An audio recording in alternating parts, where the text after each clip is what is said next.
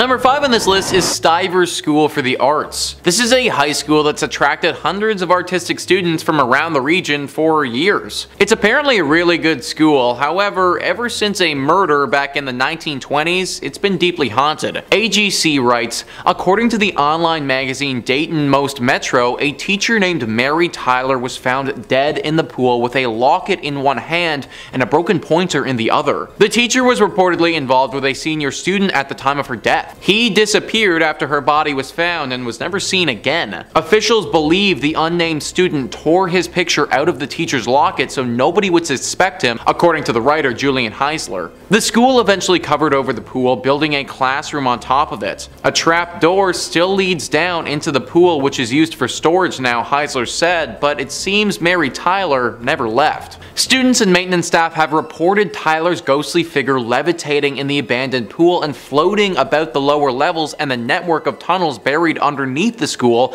banging on pipes and wailing loudly wherever she goes, Dayton Most Metro reported. A floating dead body. Yeah, that sounds pretty haunted to me, guys. Ever since this ghostly incident, there have been tons of spooky moments reported by students. Lights flickering, temperature changes, items mysteriously moving around by themselves, and things of this nature happening regularly at this school. It's crazy that something that went down a hundred years ago still has such a hold over this place, but literally a century later, and we still haven't shaken the ghost of Mary Tyler. Hopefully, the next century is a little bit less scary for the students at Stivers School for the Arts. Number 4 on this list is the Cleveland Federal Reserve. The Cleveland Federal Reserve is where the money is. Now this isn't a comment on people being haunted by crippling debt, even though that's probably the most realistic thing I've ever said on this channel. No, this place is haunted by an actual poltergeist that you don't want to mess with. Matilda is the name of our ghost in question, and she's said to haunt the vault down below.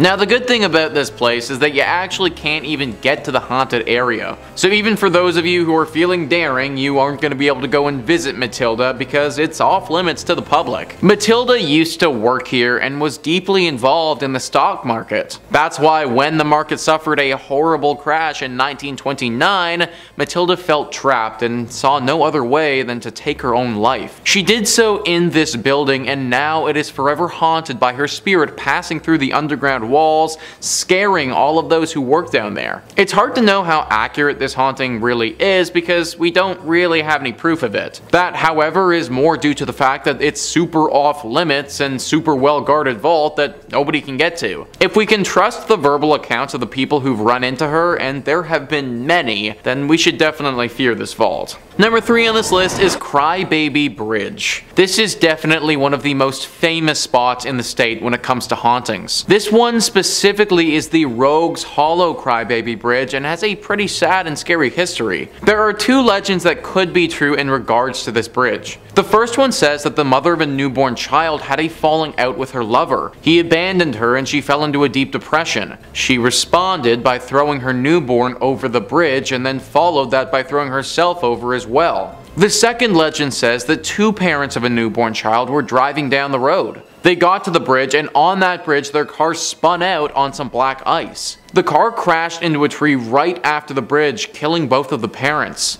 The baby in the back of the car survived though, at least for a time. This road doesn't get traveled on often and it was very cold that evening. When people eventually did come upon the crash, it was too late.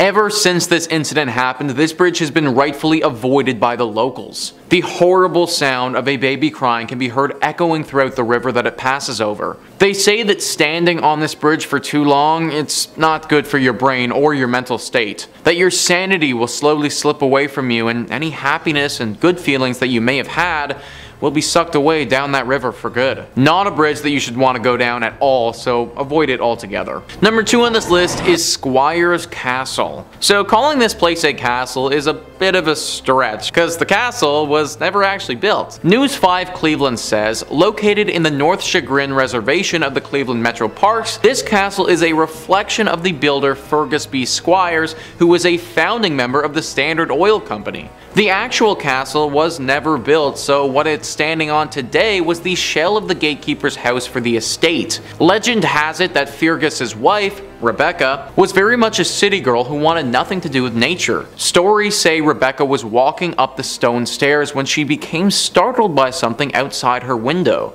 In a panicked state, she dropped her lantern and tumbled to her death down the cold stone staircase. Ever since this tragedy happened, Rebecca's ghost has never left, haunting all of those who visit or stay at the estate and bemoaning her unfortunate fate. The thing is that she isn't the thing that most people are scared of. It's whatever the thing was that frightened Rebecca so much that she fell to her death. Rumor has it that there could be a werewolf-like beast roaming the estate. Dark red eyes have been seen in the night at afar, and the howls of some wolf-like creature have also been reported. Is it possible that Rebecca saw this werewolf so many years ago and that's what frightened her? Maybe she isn't trying to haunt the place at all, but actually trying to scare people away from this place so the same fate doesn't happen to them. Either way, I don't recommend going.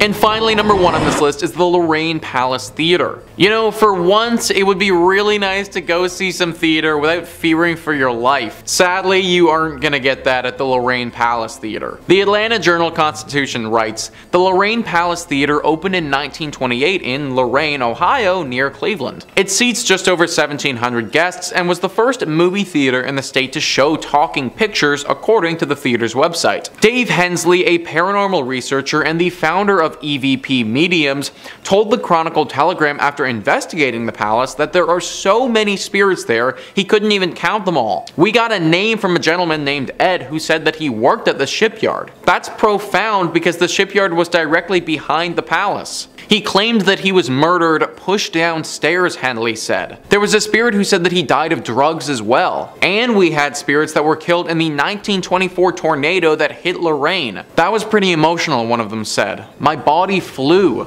Hensley told the Chronicle. The theater's operation director told the newspaper most people in the area probably know about the ghosts and spirits that roam the palace's hallways. I think everybody in Lorain County has been privy to the rumors of the unexplained activity in the Lorain Palace Theater, Chris Pataki said. In fact, a documentary in the Haunted Theater called Ghosts of the Palace is scheduled to debut at the movie house this weekend. Pretty ballsy move right there guys, literally screening a movie about your haunted theater in said haunted theater. All of this though should make it very clear how haunted this place actually is. Literally everybody around this area knows about this spot. And whenever you're getting a full-on movie made about how specifically haunted you are, then you know that you've made it as a haunted location. Even though most people make it out of this theater unscathed, that can't be said for everybody. Attacks have been reported and left people feeling very emotionally and even physically scarred.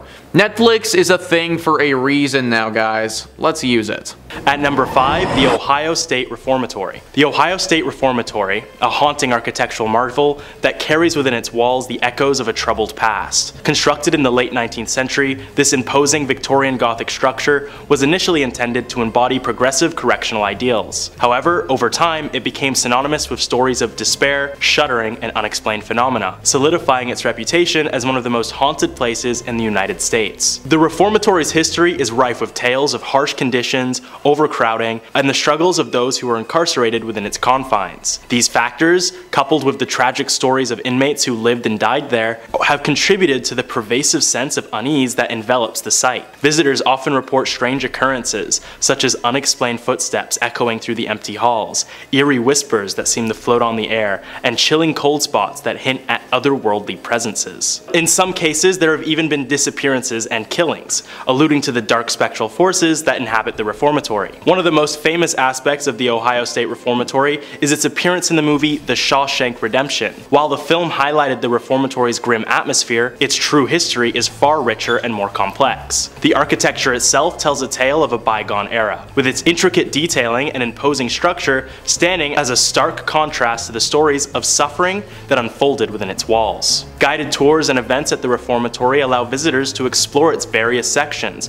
from the imposing cell blocks to the eerie solitary confinement area, known as the Hole, creating an immersive experience that evokes a sense of timelessness. The stark contrast between the ornate exterior and the haunting interior serves as a poignant reminder of the complex and often troubling history that defines the reformatory. While some may dismiss claims of paranormal activity as mere superstition, the stories and experiences recounted by those who have visited the Ohio Ohio State Reformatory are difficult to ignore. The combination of a somber history, decaying architecture, and the mysterious ambience that permeates the air makes for an unforgettable experience that lingers long after the visit is over. Number 4.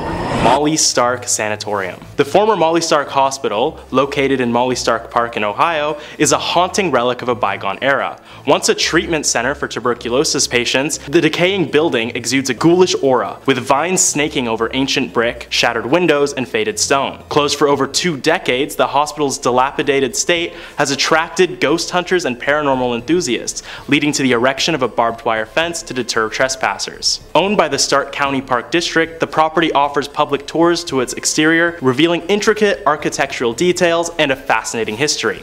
The hospital, originally constructed in 1929 at a cost of around a million dollars, treated tuberculosis patients until the 1970s, and later served as a mental health facility and a rehabilitation center for those suffering with addiction. The tour provides insights into the hospital's architectural flourishes, including a portico and stone-carved religious symbols, reflective of the faith that played a role in caring for those afflicted by tuberculosis. The hospital's conditions quickly began to decline in the mid-1970s, after reports of ghost sightings within the hospital. Patients and staff alike bore witness to the likes of victims of tuberculosis, despite the fact that treatment for the illness was invented 20 years prior. These now deceased patients were known to disrupt medical examinations, cause mass hysteria among patients and staff, and even caused many disappearances within the hospital. The amount of distress these apparitions caused eventually led to the hospital's closure in 1995. Nowadays, the site's haunted reputation draws curiosity seekers, but the tour focused mostly on the building's history rather than the many ghosts that still scuffle about the old hospital.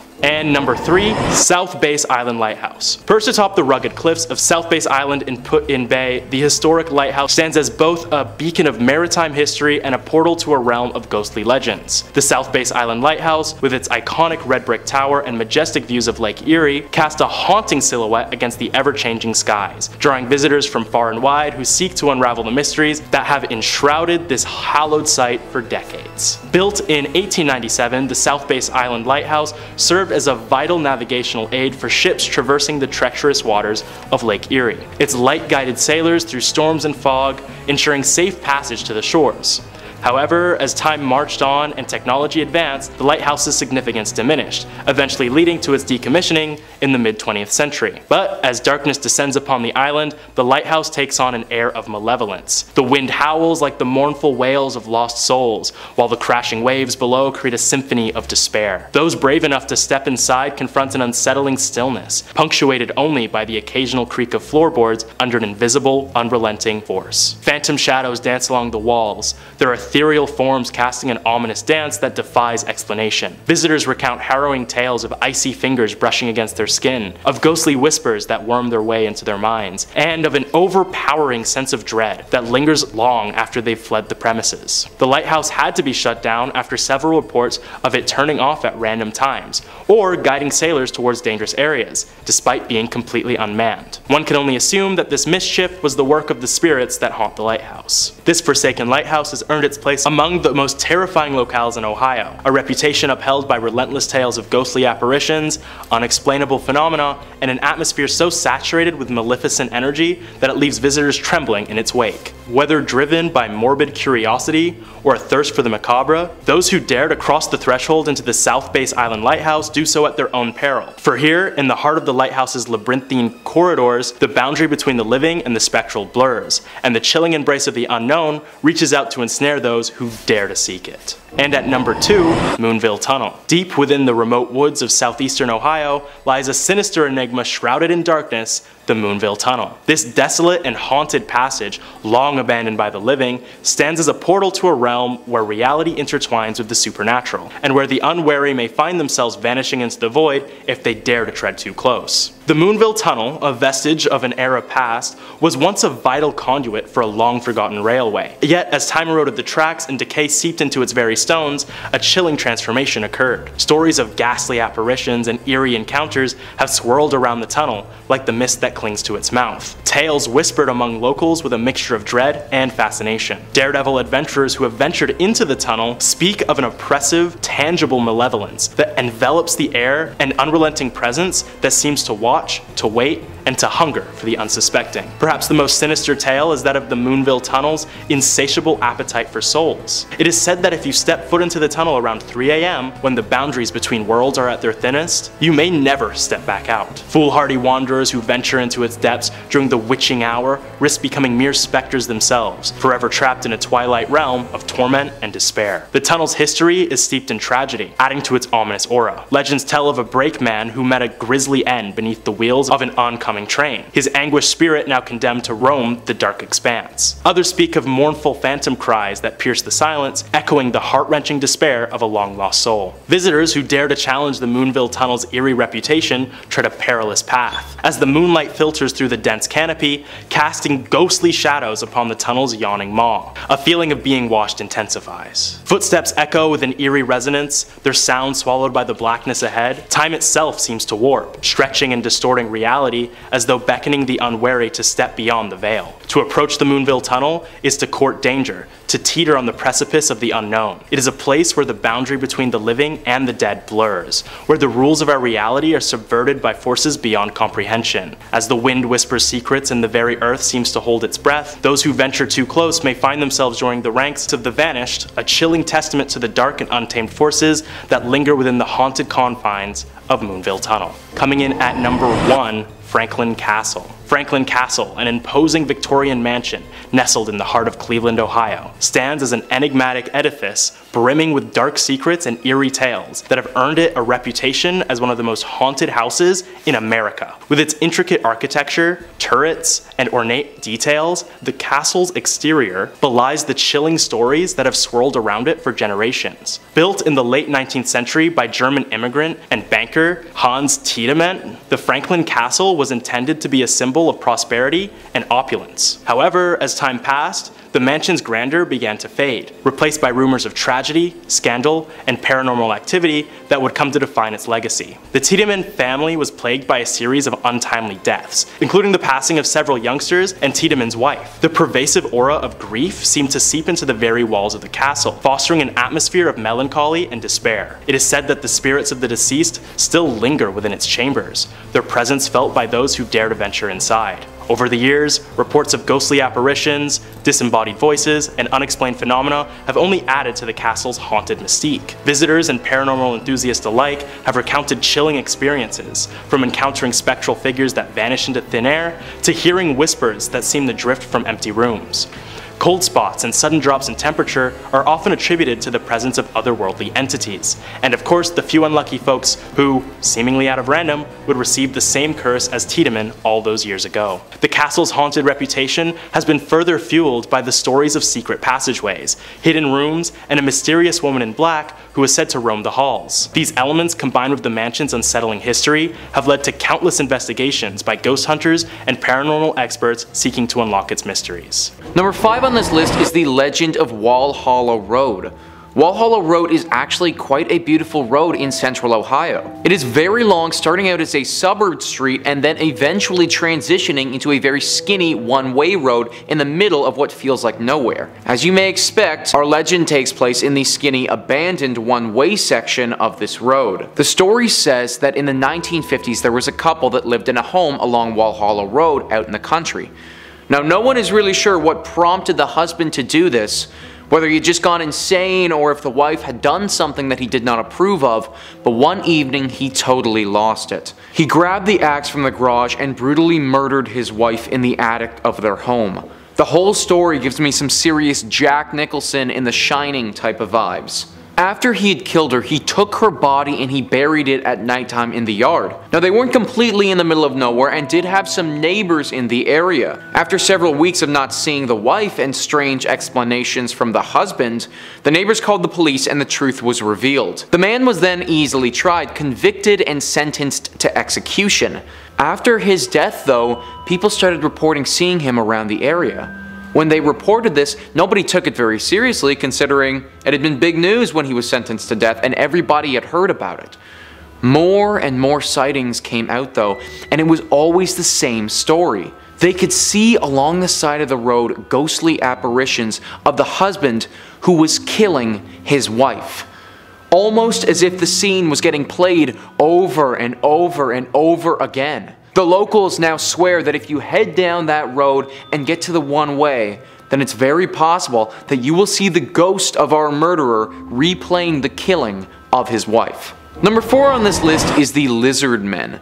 Now this is certainly a strange one, but honestly it's one of the biggest urban legends that Ohio has to offer. The legend can be traced all the way back to 1955 where it was reported that a traveling salesman spotted these strange looking creatures. Now this story sounds a little bit ridiculous to me if I'm being completely honest, but apparently three lizard-like creatures that are roughly 3 feet tall were standing on their hind legs having a full-on conversation.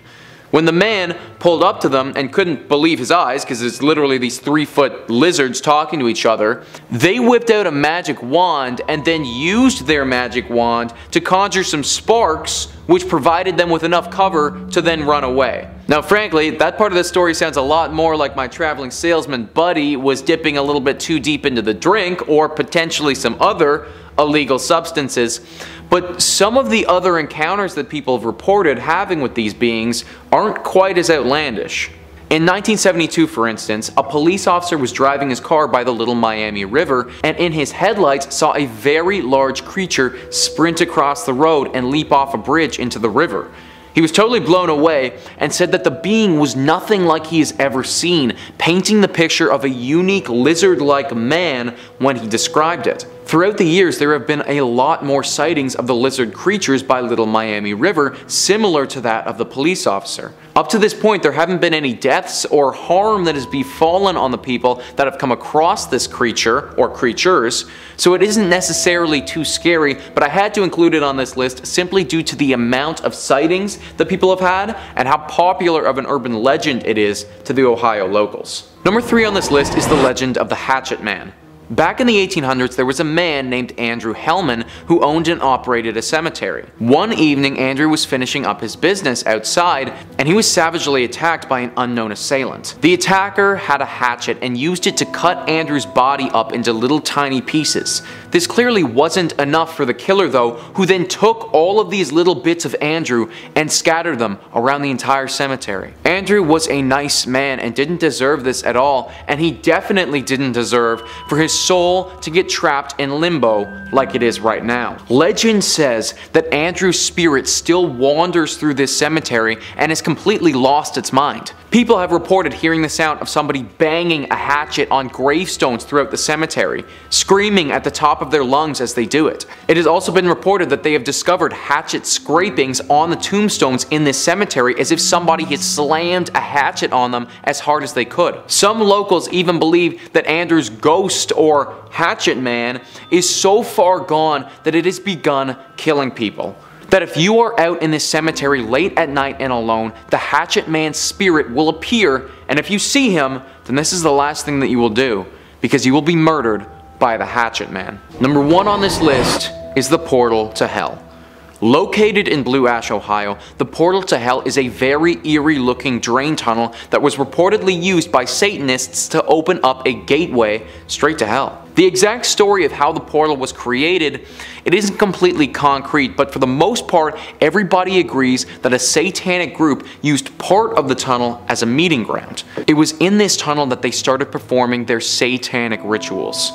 They reportedly used this place for a lot of sacrifices and would slaughter live animals down there very frequently. This escalated until they made a full-on portal to hell that nobody is closed. People in the area regularly report hearing screaming coming from down inside the tunnel, with others saying that they've seen strange visuals and movements as well. David Scott and John Stevens, who run a show about paranormal activity, got wind of the portal to hell and had to go check it out for themselves to see if the rumors were true.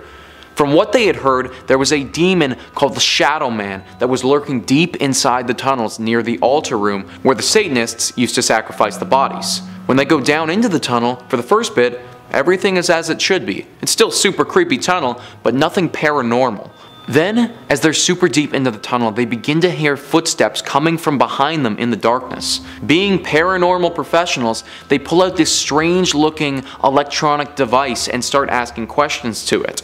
Sure enough, a voice comes back to them. They go on to have a full conversation with this voice and learn that a man named Jake was murdered down here. The voice goes on to tell them that the tunnel is a prison and that they must worship Satan here. It also tells them that the Shadow Man is real and is currently down here with them. The conversation finishes with the voice basically claiming that it wants to leave this horrible place and that it is trapped down here. I'm not sure how real their interaction was with this voice, but with the history that this tunnel has had and the amount of people who have had reported sightings of beings and other odd, unexplained things, something is definitely not right about that tunnel, or the portal to hell in Blue Ash, Ohio. Number 5 on this list is the House of Wills, a historic mansion with a deep history and an even deeper haunting. The Atlanta Journal-Constitution says it was built in 1898 by the Germania Turnverein Social Club, according to the website of the current owner, Cleveland artist Eric Freeman. By 1912, it was turned into the Hospital for Immigrants, and by 1920, it housed the Cleveland Hebrew Institute until 1938, prominent African-American entrepreneur and businessman John Walker Wills bought the property in 1942 to use as the location for his second funeral parlor. Wills died in the home in 1971 and his family sold it in 2005. The home fell into disrepair until Freeman bought it in 2010 and started the challenging work of restoring and renovating the property. Freeman said on his website that Wills is believed to be one of the many ghosts that haunt the house, and on his Facebook page he posted a scary electronic voice phenomena, or EVP, recording from the house of what sounds like dozens of of spirits from beyond trying to be heard by the living. There have actually been some famous paranormal investigators that have looked into this mansion before, and they all came to the same conclusion. It's haunted. A swirling mist will occasionally appear in the mansion, followed by stark temperature changes and a horribly foreboding sensation. Visitors who've stayed at this mansion for extended periods of time say that the visit changed them. That they're sort of constantly on alert after that stay, as if they're hyper aware all of the time. Unless you're trying to feel anxious literally all of the time, I'd book another place to stay if I was you. Number four on this list was the Ceely Rose House. This house is located in the Malabar Farm State Park, which is in Richland County. To this day, it's still a working farm, which is kind of shocking considering the horrible tragedy that occurred here many years ago. Ceely Rose is actually the name of a person, a young girl who lived in the late 1800s. This girl wasn't innocent and sweet as the stereotypical farm gal is. She was evil. There used to be a neighbor house right nearby the Ceely Rose house, and in that home lived a young boy around the same age as Ceely. Ceely developed quite the crush on him and wanted to marry him. It seemed that he liked her as well, and he wanted to do the same. This was all fine and good, except her family wouldn't allow it. Ceely's family forbid her from marrying this boy, and this was what caused her to do what she did next. Ceely wouldn't accept this answer and took it on herself to get rid of the problem, her family. She poisoned them. Every single one of them. She did it by soaking flypaper in water and then secretly pouring the arsenic-laced water over the cottage cheese she served them, according to Ohio State Park News. They all died soon afterwards, except for her. This was soon found out by the authorities, and Ceely, being as young as she was, wasn't sent to jail, but she was put into a mental institute. She was there until she died many, many years later. This home is supposedly still haunted by her and the ghost of her dead family, though. Scratches and eerie cracks are heard throughout all the time. Many people have reported being attacked while they're here as well. Avoid this home at all costs if you find yourself in Ohio. Number two on this list is the Gore Orphanage. Anything that is named the Gore Orphanage is bound to be haunted, and this is no exception. News 5 Cleveland says it's claimed to be one of the most haunted places in Ohio. Located in the countryside of Vermilion, a fire engulfed an old orphanage, burning dozens of people alive according to long-told tales. For over a century, visitors to the Gore Orphanage have reported strange experiences of glowing lights, chilling cries, and apparitions. Light of Hope was the actual name of the orphanage and was established by Johann Sprunger and his wife Katrina. They moved to the Vermilion area after their two former businesses in Indiana also caught fire. Throughout the years, children told stories of abuse neglect, and slave labor conditions. In 1909, an investigation was conducted, but because the state had no laws or regulations pertaining to orphanages, nothing could formally be done to prosecute the couple. While there's no proof that any deaths actually did occur, there's still little doubt about its reputation for being one of the most haunted areas in Ohio. So not only did this place suffer a horrible tragedy where several people passed away during a massive blaze, but prior to that even happening, there seemed to be so many human rights violations going on. I have no idea how back in the day the state wouldn't have had any laws pertaining to orphanages, but it just shows how back then these operations and children were so neglected. Because of all this tragedy and just general sadness, we have what stands today, a horribly haunted, abandoned old orphanage. Now this is on the list of places not to go, and that's because it is actually very dangerous to do so. The ghosts here are upset, and interacting with them will be a huge strain on your mind. However, if you are feeling strong enough, then I actually do encourage you to go. The only way these spirits will finally find peace is if they finally get the attention from the public that they deserve, something that clearly this place didn't get while it was in operation. Coming in at number 5 we have the Werewolf of Defiance. During the summer of 1972 the people of Defiance claimed they were being terrorized by a werewolf. On July 25, 1972, Ted Davis, a railroad worker, noticed something strange. He saw two hairy, huge paws on the ground in front of him. Confused and likely scared, he slowly raised his eyes and saw before him a creature at least six feet tall, hunched over and holding a large wooden board. Before Ted had a moment to react, he hit Ted on the shoulder and ran away. Just a few days after Ted and his colleagues spotted the return of the unknown creature, and again in the next following day there was another report. A panic began to spur through the town and newspapers about the strange sightings. With all the sightings, it was agreed that the werewolf was large and humanoid. There were enough reports that the Defiance, Ohio Police Department had to open an investigation into werewolves in the area. It is even reported in the various newspapers in Ohio. Eventually, after days of looking with no result, the case was closed. Many people thought it was a prank, but during this experience, people were actually afraid that there were either a creature or some individual dressing up and attacking people. The sightings always happened at night, generally by the train tracks. A couple of women said it would try to get into their houses by rattling the doorknobs. The animal was said to be huge, hairy, and dressed in rags. In at number 3 we have melon heads. Melon heads is the name given to the urban legend of human-like beings that live in the forests of Michigan, Connecticut, and Ohio. The melon heads were originally abandoned children that a scientist by the name of Dr. Crow decided to take care care of at his facility in Kirtland, Ohio. While the children stayed at the facility, Dr. Crow performed experiments. What got them the name Melonheads was when Dr. Crow injected chemicals into their brains, which caused their craniums to grow abnormally large. Because of the abnormal growth, they developed hydrocephalus, which caused them to become mentally ill. After years of neglect, the Melonheads ended Dr. Crow's life and burned down his facility. After the death of the mad scientist Dr. Crow, the Melonheads decided to inhabit the forests of Crybaby Bridge. To survive, the Melonheads feast on any animals that they hunted down. Because of their paranoia of society, the Melonheads ate anyone that spotted them. To keep the Melonheads cult going, they've kept inbreeding, making the offspring even more raving and paranoid. Legend holds that the Melonheads reside in Wisner Road in Kirtland and Chardon Township, with locals and bypassers reported seeing and hearing the Melonheads as they lurk in the forest looking for their next victim. Local lore depicts them as a territorial and angry, responsible for attacks, kidnappings, and theft of pets and livestock for food. An explorer even wrote a book about the first person encounter with Melonhead. Kelly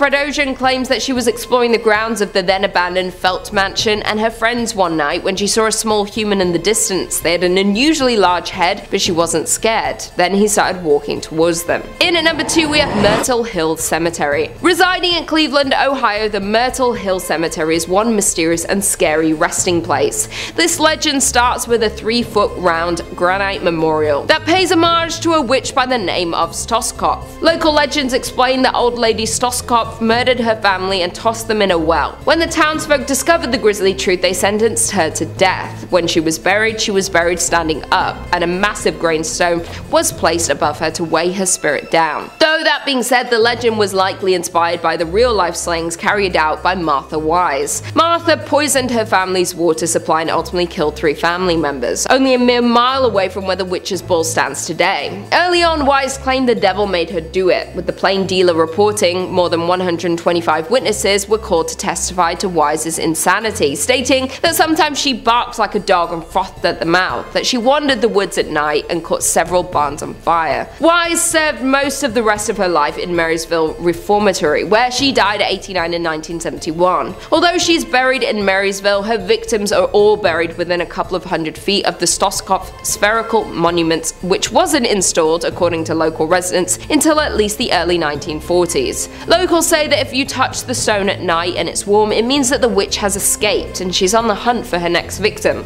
Many can't help but believe that the cemetery itself is haunted, and out of curiosity, many people visit the cemetery and trespass at night to try to interact with its resident spirits. And finally, in at number one, we have Rogues Hollow. From the tales of a haunted mill and a crybaby bridge to a shaking graveyard and a headless horseman, Rogues Hollow is known to be one of Ohio's most haunted areas. You can explore the park today, just be sure to stay away after dark, as that's when the ghosts come out to play. Ohio Rogues Hollow was once a populated mining village, but very few remnants of the coal mining town remain now. The town was actually once a place notorious for outlaws and gangsters to hide out. Shootouts and robberies were common here, and these continued until the early 20th century. In spite of the town's crooked reality and a peculiar tale, creepy things continue to happen here. There have been multiple reports of sounds of a crying baby at night, shaking grounds at a graveyard, and ghost sightings that haunt the abandoned town. The abandoned mines around Rogues Hollow are full of ghosts of miners who perished there in cave-ins and accidents, with reports of tools being picked up by unseen hands in the black shafts chipping away at veins of coal. Though the entrance to the mine has been permanently blocked, and the walkway near the mine shafts are equally plagued by residents of the spirit world. One old legend that haunts the town is of the Chidester Mill ghost. The ghost was believed to belong to a mill worker who fell into the wheel and was crushed beneath the churning waves. The ghost guarded the area and is filled with jealousy and spite. Because of the negative energy this ghost brings, he supposedly started a fire in the Chidester house when an outsider expressed interest in purchasing it. A more modern legend is the Crybaby Bridge. At the bottom of the hollow, a bridge crosses Silver Creek. According to legend, a car traveling across the bridge slid on ice and plunged into the creek. Its occupants were no longer alive. Today, you can hear the cries being heard from the surrounding woods. There are an endless amount of ghost stories circulating about the old mining town of Rogues Hollow, with eyewitnesses reported seeing women in frontier dresses, hearing old trains, crying and floating tools, leaving us even more certain in the belief of ghosts and spirits. Number 5 on this list is Cleveland Greys Armory Museum. This building was constructed in 1893 for the Cleveland Greys, who were a volunteer private military company. The group helped law enforcement and dealt with other criminal ongoings that attacked the city's streets. They continued helping out the military for as long as the government would allow them to, but after World War I were no longer allowed to enter as a private group. However, they obviously had a lot of weapons and things of that nature that nobody would be using anymore. So today, there now stands the Cleveland Greys Armory Museum.